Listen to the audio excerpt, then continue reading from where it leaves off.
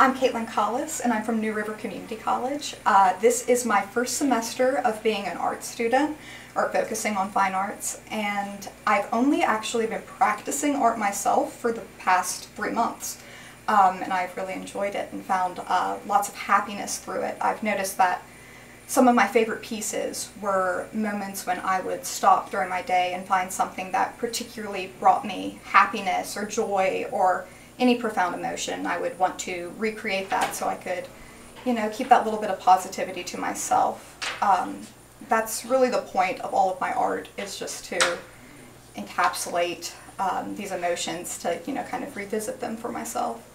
Um, I see myself doing lots of things with art in the future. As far as an, a specific thing to do, I I'm not sure. Mainly practicing and exploring more. I'm excited to um, get involved with other mediums, even things like fiber art and things like that. I want, I love mixed media, using all of these different mediums to create an amalgamation of feeling and color and that's what I'm excited and looking forward to in the future.